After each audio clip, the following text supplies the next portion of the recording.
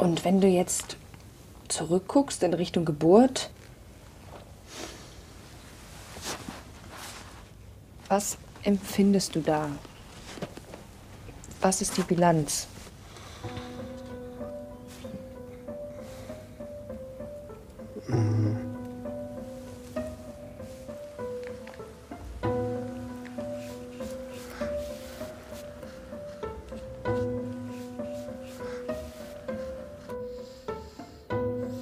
Innerhalb von dieser Gruppe hat er uns wirklich gesagt, ja, in meinem Leben war ich nur einmal wütend und dann ist es schiefgegangen.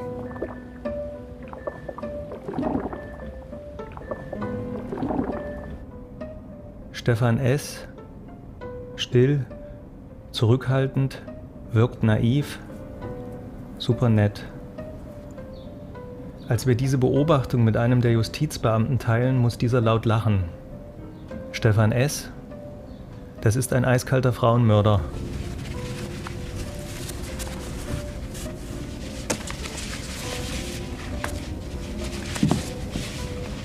Aber verstehst du den Sinn dieses Therapieprozesses? Also verstehst du die Methode, auf sein eigenes Leben zurückzuschauen und Schlüsse daraus zu ziehen? Man stellt immer die Frage als Mensch, warum? Ja, warum? Genau. Und aber, aber gibt es da eine Antwort? Ich, ich denke nicht. Ich denke nicht. Also ich denke, es gibt Antworten, aber wir sind immer damit unzufrieden.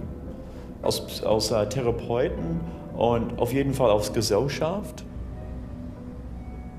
Wir versuchen uns vorzustellen, wie Stefan von hier aus Maria nachts in ihrer Wohnung beobachtet hat.